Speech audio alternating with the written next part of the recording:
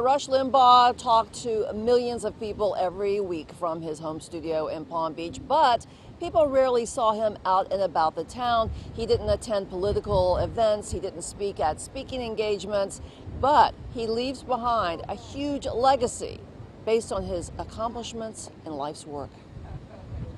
Rush Limbaugh became the most prominent political radio host in modern American history, basically creating political talk radio. Now being remembered fondly with no small amount of awe from his friends, fellow Republicans, and millions of listeners. He's the Henry Ford of talk radio. Former president of the Palm Beach County Republican Party, Sid Dinerstein, says Limbaugh had a special talent to connect with the feelings of many conservatives.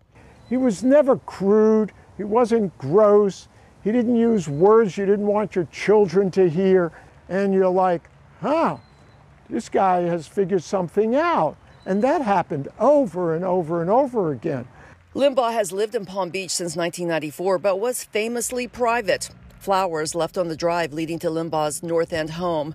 Two houses down, his longtime friend Gay Hart Gaines says Limbaugh was generous and kind and one of the nicest people she ever knew. He was never arrogant and he, he was never um, with all that he accomplished and did, he was so humble. He was the most humble man.